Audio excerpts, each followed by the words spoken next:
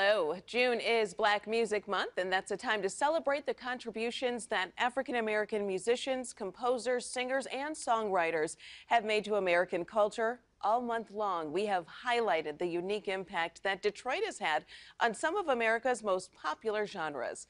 Today, we're going to take a deep dive into those genres and talk to the people influential in making that Detroit sound mainstream. Gospel music is music that you can feel, and you can't talk about gospel music without mentioning Detroit.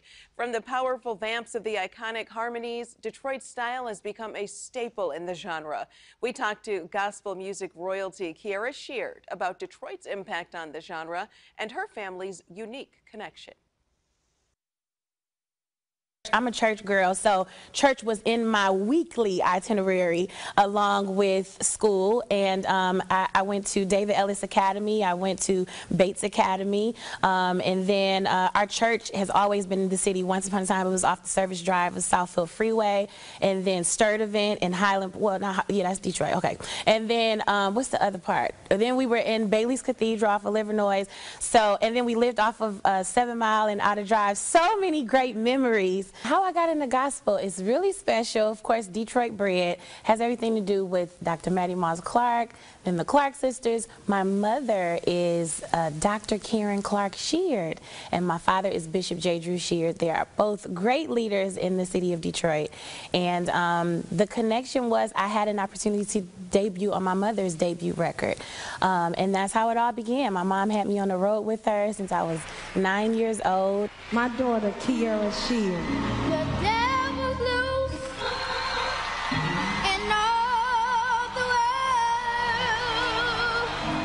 My mom is my best friend. She's she's beautiful. She's amazing. She shows me that you can go out and be a monster, like a beast on the stage, but I can still be graceful. She's like a quiet storm, if I can say that. But she's she's taught me to not just get up there. And, we know you can sing, but get up there and say something. Like people want to hear you sing, but let them leave with something. But I say it with total humility. You know, I, I really think that it is, I know it is a God given thing, and um, I'm so grateful to be a part of such a great legacy. Something that Detroit artists have when it comes to conviction. You can feel it. You can feel the soul. In addition to that, it's almost like they, you know how when somebody does like an acrobat or a run, it's like they, it can be never ending. so um, it's so much I can say, um, but it's it Detroit, whatever comes from Detroit and into gospel music, it, it definitely is a rich sound um, great vamps where you can just drive a song and just, or it could be speed. Uh, um, and I think it it's like the the redundant thing where you just gotta repeat. Um, you got the Clark sisters, hallelujah, hallelujah. The wine is, it's time, it's uh, uh, uh, time to make that change. So I could go on and on. You, you, you're getting me good though, because I got to know my history.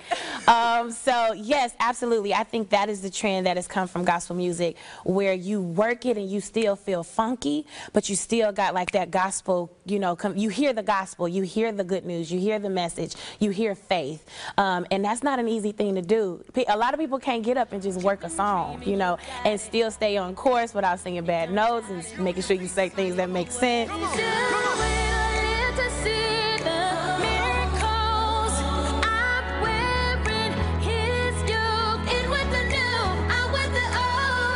Our new album um, is so good. It's so good. My new album is all yours, and all Yours comes from um, one of the songs on the record, which features Anthony Brown. So, of course, with God having his stamp on it and his leading, um, I worked with a lot of other producers and artists, artists who now, too, not just has my ear, but I have other ears, you know, who can kind of create that sound. Like, this is what they listening to, but you can put your twist on it this way, you know. So I think that, that co the collaborative effort has really um, cat catapulted um, my way of artistry in this space in this season, and I'm proud about that. I'll lift my hands as high as they will go, as a sign to let you know all I wanna be is all yours. And I understand you wrote a book. Yes. So tell me, please, what is that book about? It's called The Vibes You Feel, and um, it's I think the subtitle it, it is um, what the Holy Spirit has taught me through relationships. And um, I'm a very vibe sensitive person. I love people, and I've had to learn over time to number one not play victim because sometimes we can be so heartbroken and be disappointed or have our expectations in people or expect ourselves out of people, and it's like, well, that was your fault. It wasn't their fault, you know. And sometimes we'll get these memos from the Holy Spirit or from God, and we'll ignore them. And you know, sometimes when you get in your 30s, you'll still be going through transitions of friendships and relationships.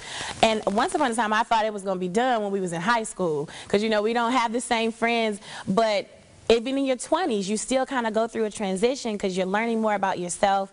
And one thing that I've learned is um, I had to stop playing victim and pointing the finger and saying that this person did this wrong or that person did this wrong. And I had to acknowledge that, you know, hey, uh, the vibe that you have to now accept about yourself is that you expect yourself out of people. And you have to let people be people, give them a chance to show who they are so that you can see the value that they bring. Who is the most influential person in your life as it relates to gospel music? Oh, my mommy. my mommy, um, she's my best friend. So she's impacted my life. What an inspirational story, and I definitely know a little something about the power of following in your mother's footsteps. Coming up, we explore the deep moans, rhythms, and tempos that make the blues sound so iconic. Stay with us. Welcome back. The blues is often associated with sadness and pain, but Detroit's Queen of Blues says that this genre is so much more than that. Take a listen.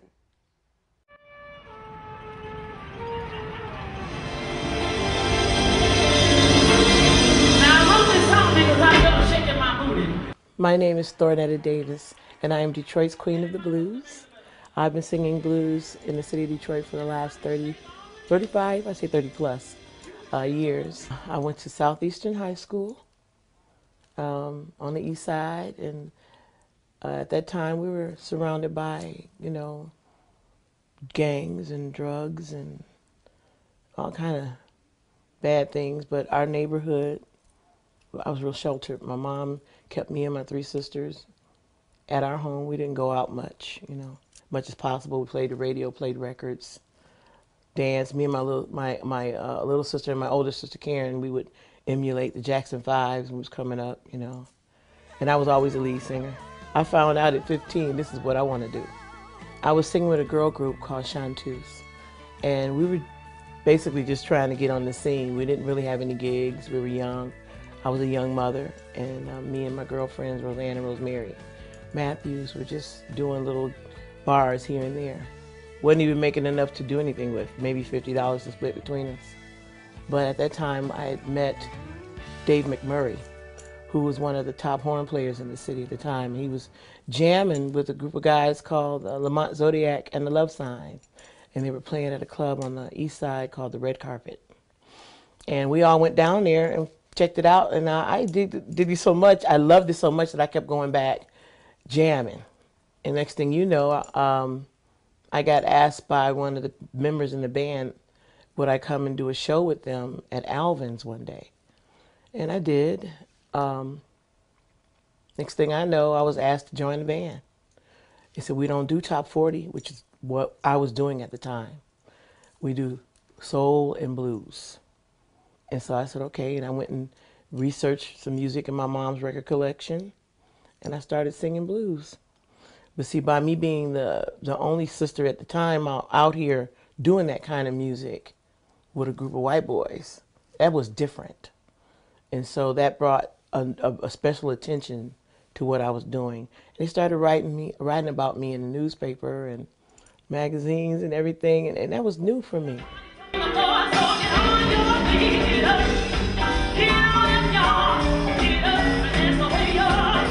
I've actually had people come and say to me, I, I used to didn't like the blues, but I like your blues. You know, people assume that blues is all about sad and low down and gut rugged and, you know, back in the fields. Some of it's like that, yes, and that's good too. But some music is meant to lift your spirits. And that's the reason why people sung the blues back then, because they couldn't do anything else. You know, they they being whipped and beat on, and if they if they can do nothing but let out a holler to release the pressure, that's what they were doing.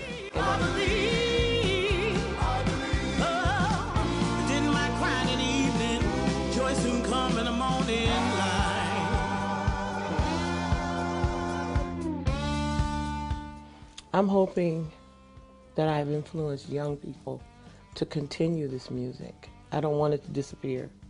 I want people to understand that it's, especially young African American people, it's our heritage. It comes from blood, sweat, and a whole lot of tears.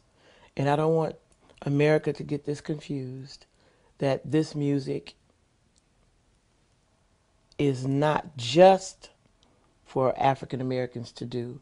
It's just that it came from us. And we have so many things that's been stripped stripped from our our legacy. I want to continue to honor it. And I want young African American musicians and singers to continue to honor this music. It's not old fashioned. It's not something to be kicked to the curb. You can incorporate it, listen to it, go out and get some Ma Rainey, some Bessie Smiths, some Muddy Waters, incorporate it into your your artistry. It'll make you better. It made me better. I feel wonderful. I feel great. I feel honored and uh, I'm blessed, you know. And then I won an award for for this as my ninth nomination. Mm-hmm. I didn't. I haven't released an album since 2016, but I've been steadily gigging, doing more shows. And when I'm sitting there in the audience and they call out the category again, the the feeling comes over you, and you think, well, it's not happening this year either, because you have to win the the voters over. And a lot, not a lot of the, the voters, my fan base in Detroit, know anything about the Blues Foundation. And my husband, who's in the band, said, Well, you've performed in front of all of them last year with all the different festivals that I did last year. They were there. And I still didn't believe it. And I'm sitting there going, Okay, and I'm drinking my tea. And next thing you go, and the winner is Thornetta Davis. And I'm like, What? And I got my award after the original queen of the blues, Alberta Adams, passed. A year later, the Blues Society asked me, would I be the queen? And they gave me a coronation and a crown. So I feel an obligation to represent Detroit City everywhere I go. So yeah, I'm honored. Well, there really is more to blues than what meets the eye, or rather the ear. Ahead, we introduce you to a native Detroiter breathing new life into classical music.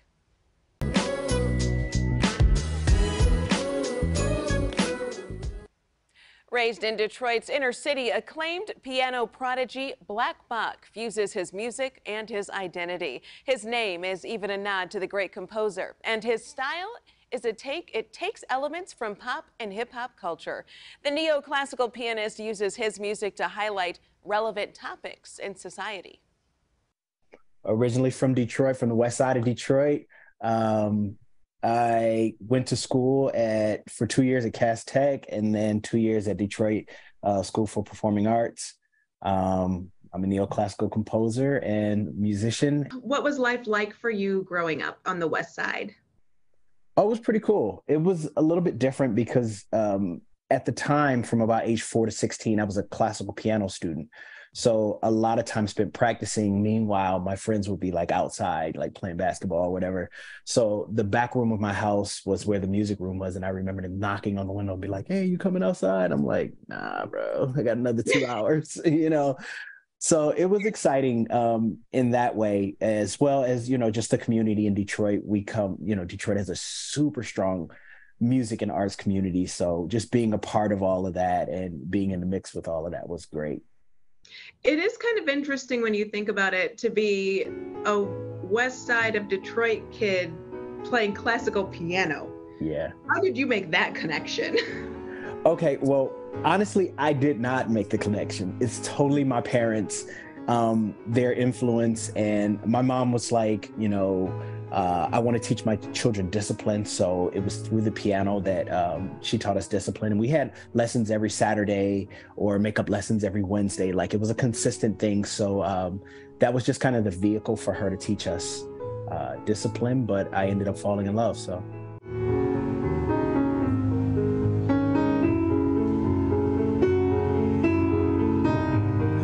What is it about the piano that you love so much? That is a great question. No one's asked me that one. Yeah, I think the thing that I love most is that it's the voice. It's it's my other voice. Like I have my own like human voice, but I feel that I speak almost better through this other voice. And this voice has no words, but it just can tell emotions. It can t- it can paint pictures. Um, it can tell stories. So I just feel like um, you know it's my connection to the universe and i feel like that's a very strong very powerful thing and uh, it's to be respected and i think that's the thing that i love about the piano this instrument is incredible it's so relevant it's it's on everything and it's in everything and uh, i think it just gives it a different twist and a different way of uh, viewing the piano What is truth? yeah what is truth it is the new single from my new album and it just is a prompt. It's a question that I think we should all ask ourselves, especially considering that we live in a time where um, cognitive dissonance is everywhere. We don't know what's the truth from what we see on the news or or what we see on our social media. So I think it's a time that we all need to take a step back and ask that question and really, really examine what does it mean personally to each one of us. Um, yeah mm-hmm. and that's kind of like you know the the whole seasoning of the song what is truth. How do you think that people like you, who you're obviously like younger, hipper, cuter than most mm-hmm. Beethoven esque types, right. are kind of humanizing and making piano more palatable to a younger audience? well my whole goal here is to be the entrance ramp to be the entrance ramp for people who are non-traditional classical listeners if you don't normally do it the idea is you see someone like me you can relate to like oh that guy's just like us. And then it'll say well what is he doing? And then you get a chance to listen and hear what i'm doing. And then you become a fan. I mean you know i think classical music has had a long history with uh, black people or people of color. And a lot of it because of what classical music is has been buried a lot of the information a lot of the people who are uh, extreme creators like uh, chevalier or like uh, florence price these names we don't know these names as much as we know mozart or chopin but these names were just as significant you know? And i believe that we as uh, creators um, or african american creators um, have a place in this music and i think that we've always have and i think it's time that you know it becomes hip and fresh and new and young and it's spirited again you know and it talks about the things that are going on in our time as opposed to something that was going on you know maybe 200 300 years ago Well, Bach definitely brings a new approach to cultural relevance. Detroit is the birthplace of many things, and on that list, electric dance music, otherwise known as techno. The funky soul that pulsated through automatic beats was given its rhythm from Detroit, but its futurism and optimism was the influence of black Detroit. First of all, Submerge Management is like our uh, parent company, which oversees Exhibit 3000, which I'm standing in now, where we are now, which is the only techno museum in the world. Somewhere in Detroit is our record store, uh, which we have located in the basement, as well as studios, exhibit spaces, conference rooms for community use. So we're like ambassadors for the city of Detroit. Our city is rebounding, and techno was created in Detroit by four African American men. These are the four founders of techno. Juan Atkins in the middle here is considered the godfather of techno. He was the first. Derrick May, Eddie Fowlkes, and Kevin Saunderson. Juan Atkins was with a group called Cybotron, which recorded a record, Alleys of Your Mind, released in 1981, which was the very first techno record. And one of the primary things is educate people about the music, uh, which started here and has gone around the world. And in any country you go to, Detroit techno is being played. You know, when they were creating this genre, did they think, well, this is something special that is going to take over the world? You don't really know what's going to happen. It may become big and maybe not. You know, it was just something special about this music that attracted people's attention and people got into because it was, it was something different. And I think it maybe appealed to a more progressive crowd of people initially and learning that how black people can work collectively together to create something that's very useful to the community and to the world and to us and to be very, very proud of what we developed and created. There is no limit to the creativity that Detroit can produce. Stay with us. After the break, we take a trip to the slums that birthed an iconic Detroit group. Welcome back. Though hip hop was birthed in New York City in the 70s, its origins of drum beats and record scratches took new form when it came to Detroit. Over the years, the D has become an epicenter for hip hop. It's artists working to leave their mark on the industry that heavily focuses on East Coast versus West Coast. However, a group birthed from the slums came on the scene in the late 90s and through its lyricism and underground sound was able to pioneer a new era in hip hop. Slum Village has been named one of Billboard's greatest rap groups of all time. And as they tell us, they're just getting started. Uh, Slum Village came to be late 80s, early 92. We met in high school. Actually, we met in high school, so I would say 90s. I graduated in 93 at Pershing High School, so we got together. I heard about the guys, and they heard about me, and we did this big cipher thing. I, I grew up as a only child. You know, my mom passed when I was 17 from cancer. Then I had to move around. I had to I just wanted a better life. That's kind of my, my, motivation. I mean, we had drug dealers on the on the corners over here. You had people doing this and doing that, but we had each other. So the music just kept us tight. The core of Slum Village got together after we got after we were about to get signed to Hoops Hoops Records, and um, and that's what his dad was there. My parents did music in the '80s, so the beginning part of my childhood was spent on the road, tour bus, uh, name of that group was RJ's Latest Arrival. So around that time, it would be like Fresh Fest time when they was touring with them and Houdini and all of them. And then it got a little normal when they retired, and they decided to open up the studio. Him and John Salley, they decided to form a, a, a record company slash studio, and they were signing a bunch of artists. And we were one of the artists to get signed. And just before we got signed, we wanted to bring Baatin back into the fold. So that's when the core of Slum Village got together. We recorded some records, and then, you know, it was history after that. We didn't, unfortunately, we didn't get the deal for a lot of reasons, and then we didn't get signed again to 10 years later. Even, look, even when they was alive and they left the group, they was people was telling me to hang it up. So people always gonna say that. But but the actual members that were in the group they told me to keep it going. So from Dilla and Baatin. So they both wanted me to keep it going, whether they was here or part of it or not. I was appreciative uh, just to be in, in the thoughts, in the runnings to even do it. Uh,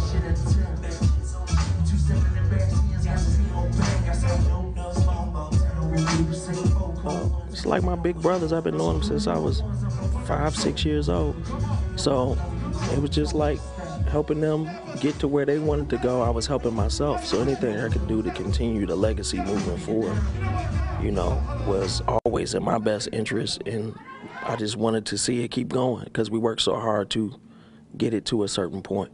With with us, let's just say you got you got J Dilla. He's he's kind of the foundation of of it in a sense that he showed me how to produce and make beats and doing stuff. I was I already came up with my own rhyme style, but he showed me how to produce, and then he showed Jay how to produce.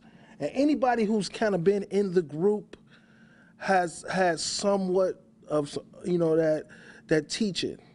So it was always a steady. It was no like outsiders. Everybody had been around. It's, it's, it's so we all know what's up. So that's that's why we was able to keep it so consistent.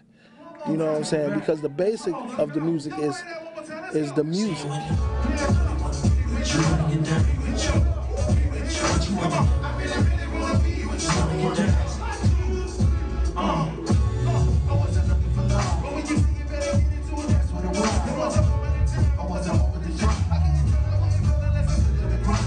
And then what we saying on top of it, you know what I'm saying? And we and we was able to keep that vibe going. We we're we're known as a soulful group, but the lyrics have always been gritty and kind of grimy. So that's what Detroit gives us. We grew up and and uh, we wasn't it wasn't a nice it wasn't a nice guy path when it came to that because it was about the grit of Detroit and just growing up in the streets. Uh, the future of Slum Village, we got a lot of things on the table. I'm excited about a lot of things. We got a collaborative, we got a shoe coming out with Puma. We got um, an album coming, untitled, but it's coming August, hopefully. So, for a lot of kids now who want to be the next um, Slum Village, what is your advice for them? Um, I would say be consistent with your music.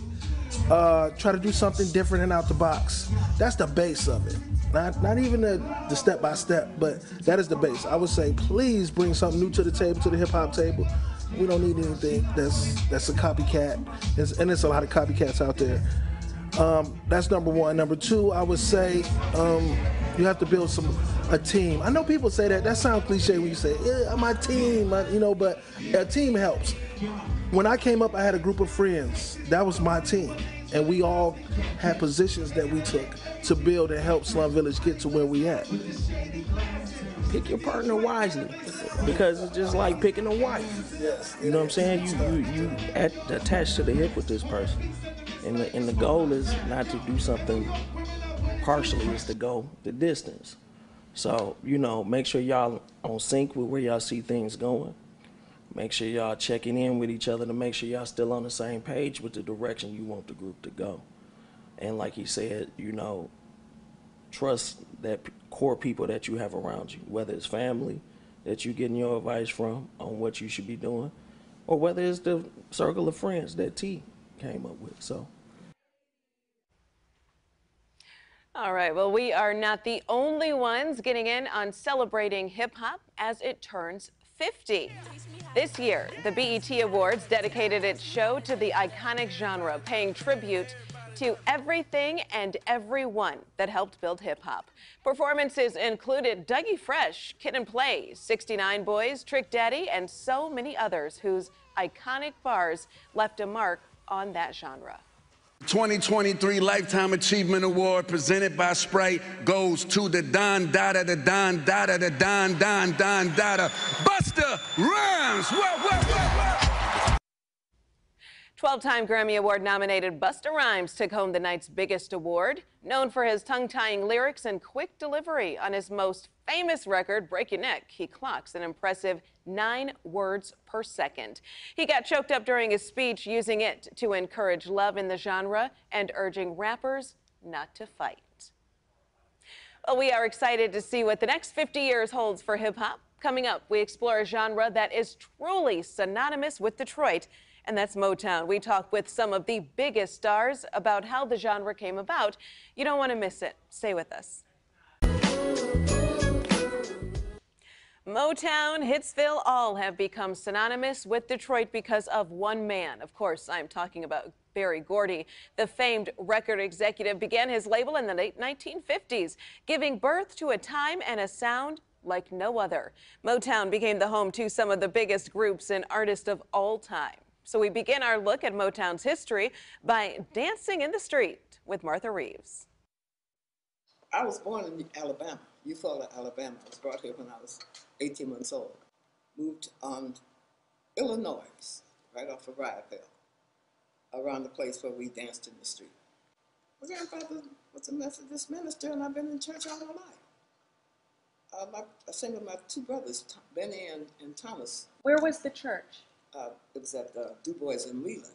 It's now defunct, just like my schools, Northeastern High School and Miller High Schools. They're all torn down now. You know that Ray Charles was a blues singer, but he also came from the church. A lot of his songs, is indicated, like uh, they said, he took gospel songs and turned them into R&B, which is the, the truth. The so did Motown. Most of the songs that I sang were gospel songs. Jimmy Mack, when are you coming back? Jesus Christ, when are you coming back? Yeah, I was going to ask that. Who is Jimmy? He's Jesus. Okay. Uh-huh. And uh, love is like a heat wave. That's the Holy Spirit. It hits you from the top of your head to the tips of your toes. That's the only heat wave I've ever, ever experienced. What was it like to be a Motown artist? it was like going to a daycare center with a lot of talented kids, Wow. a lot of talented people. Berry kind of had a way of uh, collecting the most talented. Well, I came from the Warfield Theater. I had everybody uh, that I had spoken to had a, I had a, actually competed at the Warfield Theater. Uh, my introduction was through Mickey Stevenson, the A&R director. Well, his name was William R. Stevenson, but they called him Mickey, and that's who I asked for when I came to the desk that day. Every every experience has been a lesson of some kind, whether it was a, a painful lesson or it was an enhancing lesson. So Motown's music made you an ambassador. You went all over the world singing their music, and it didn't have a name or, or a race or a, a, ethnic group or a age or a generation or anything. It was music made that Berry Gordy depicted it being the sound of young America, and it became the sound of the world. Can you define the Motown sound? Yeah, it's a bunch of people getting together and relating to love, life, and experiences of joy. It was all about happiness. I don't think there was one song that was recorded on Motown that would cause anybody any harm or deflate anybody's ego or cause anybody any grief or pain. It was all about bringing uh, love out, getting rid of the blues, and making us dance. And that's what the music. The music was recorded for musicians, and us singers had to learn how to sing with it. As a matter of fact, while I was in the studio, most of the time they would say, "Hey, Martha, stay in the pocket, stay in the pocket," because the rhythms from the drums and the bass and the keyboards and the guitars, you had to get in between there somehow, because they all had a space. That's the, the, the secret to the Motown sound. They let everybody have their own space. Do you miss all that hustle and bustle? Do you miss those days? It was not hustle and bustle. It was, it was uh, fellowship. That's what it was. I miss being with the wonderful people making that music. There are very few places you can go now where people are in one accord like they were at Hitsville. Uh, all these good-looking men, they had two or three women. Yeah, they had a wife at home and a singer, and they had another performer. And um, I became uh, a good secretary uh, in that department while I was getting my chance to record and my chance to be a star. And when we left for our first tour, 94 One Nighters, uh, three months of being on the road in this broken down trailway bus, everybody's song had charted by the time we got back those three months. But coming out of that studio and getting on that bus and riding with those 12 acts and the 12 piece band and singing our songs from uh, Detroit to New York, from New York to Washington, D.C., from Washington, D.C. to Chicago, to Chicago to Seattle, Washington, and Los Angeles, California, and coming back around to Colorado and Texas and uh, back to Hitsville, USA. And everybody's records had charted. Berry was very clever to send us on that three month excursion.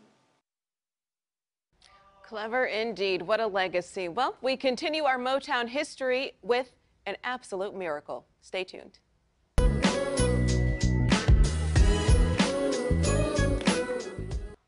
One of the country's biggest artists has a career that spans over four decades, and it all began here at Hitsville. Smokey Robinson started his group The Miracles while still in high school, and they dominated R&B for years before he went solo. Smokey's influence on music cannot be denied. Here now with you, the amazing, wonderful, legendary Smokey Robinson. Thank you again for making so much time for CBS Detroit. We really appreciate you. Well, Amir, I appreciate you doing this. Like I said, I, I really thank you for doing this. And you know, you're doing it in Detroit, which is my hometown, so it makes it extra special. Well, I'm glad you brought that up because that's what I wanted to talk about first. Smokey Joe. What was life like for you growing up in All right, Detroit? take me back. Oh yeah, honey, I did my research. I know you. All right. So what was life like for you growing up here in Detroit? Our life was great. I mean, I grew up in the hood, man, but you see, I, I had no idea that we were in the hood or how poor we were, or any of that. because it was my situation and that was where I lived and everybody was under the same conditions. So the, was your first group that you started uh, long before Smokey Robinson and the Miracles, the Five Chimes? Yeah. Yeah, and how did we transition from that to the other? Well, well, the Five Chimes, you know, uh, I, I, probably was about a, a 11. Uh-huh. And uh, one of the guys who ended up being in the Miracles also, a guy named Ron White, he was the paper boy on our street. Ron's cousin uh, told us that Jackie Wilson's managers were in town and they were auditioning for talent. We sang the five songs and they told us that we would never make it. But just so happens that day, I tell everybody it was a God day because that day Berry Gordy was there and that's where we got the songs from. I told him I had written them. He wanted to hear some more of my songs. He and I struck up a relationship. And about uh, a year and a half or so after that, he started Motown. And uh, we had a record called Bad Girl. And it was really doing great because we were just local at the time. We were just in Detroit and Flint and Ann Arbor. Mm-hmm. And so uh, the record broke out so big in those areas, we wanted national distribution. So Berry took it and put it with Chess in Chicago. And I think the influence from Motown is is so great. And with you uh, being there and being so multifaceted as both a performer and a songwriter, how would you describe the Motown sound? It's, you know, it's been a long time since somebody asked me that question uh, because they used to ask that. Uh, people talked about it because there were so many versions out in the streets of what the Motown sound was. Well, it's got more kick drum. No, it's got more piano. No, the drums are about the. the I tell people all the time, and they, and they said, okay, when we when we, when we really started making a lot of hits in a row, honey, people were coming from uh, London and Africa and New York and Chicago and California and Nashville and everywhere to Detroit to record their artists because they thought the Motown sound was in the air. If you come to Detroit and record your artist, you're going to get the Motown sound because it's in the air. Okay.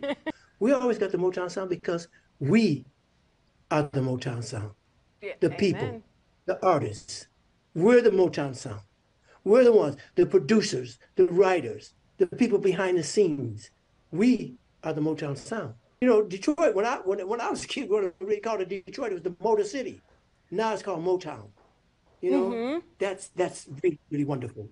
And we uh, the first instance I can give you of something like that was, you know, back when I was growing up, honey, if you were black and you were in Dearborn or Grosse Pointe or or uh, uh, any of those cities like that, uh, Bloomfield Hills or anywhere like that, if you were black and you were in one of those areas, mm-hmm. you better have something on you that says you're working for somebody who lives there. The segregation was powerful. It was it was like that.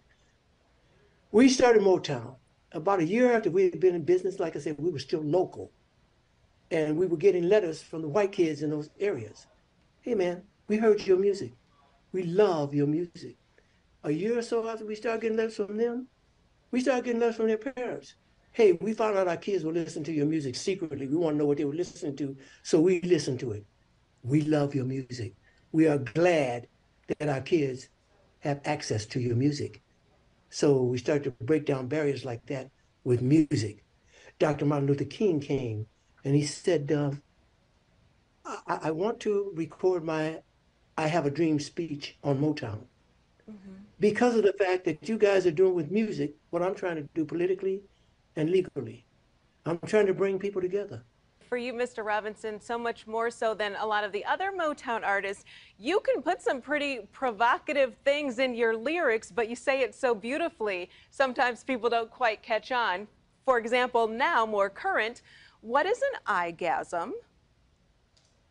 An eyegasm is a good feeling through your eyes, through sight. you see somebody or see something. That's what it is. It's, it's, it's, it makes makes you feel good just seeing them or seeing it. So uh, that's an orgasm. that was a very politically correct answer, and I like it. so tell me about this new album and all that has gone into it. Well, uh, you know, I've been working on it for about five years, and um, I, I, I, didn't have the song "Gasms" until you know recently, about a, a year or so ago. and I was at the piano and I was just trying to think of something because I wanted. It had been a long time since I'd had out an album of original material, new original material, and so uh, I, I was working on it, and I wanted to have controversy. So I thought about what is controversial in today's world. It's hard to find something controversial in today's world because anything goes, you know. So, but anyway, I, I thought about gasms, and I thought about it and said, well, you know, that's a controversial word. And when you hear gasms, the first thought that comes to the, most people's minds is orgasm. Well, that's a well, gasm. Ooh, gasm. Ooh. But gasms is any good feeling because I looked it up before I completed the song. mm-hmm. It's any good feeling you might have from anything that might give you that good feeling. All the songs basically have that kind of connotation. That kind of feel to it. So when can uh, your hometown crowd expect to hear all this from you directly? When are you coming home? Oh God! Hold on. Can you hold on one second? I'm going to tell you exactly. Yes, sir. I sure can. August 5th, coming August 5th to the Fox Theater, and I cannot tell you how I'm anticipating that. I, I can't wait. You know, the Fox Theater, we ended up doing all the Motortown Revues at the Fox Theater when we were when we were doing when we were still in Detroit and we were doing the Motortown Revues. Mm-hmm. We did them at the Fox Theater. So the Fox Theater is very near and dear to my heart. So um, you know, it's like coming home to Detroit. I love coming there to perform anyway because it's my home. Yeah. But we're going to be at the Fox Theater, man. I haven't played the Fox Theater in probably 40 years.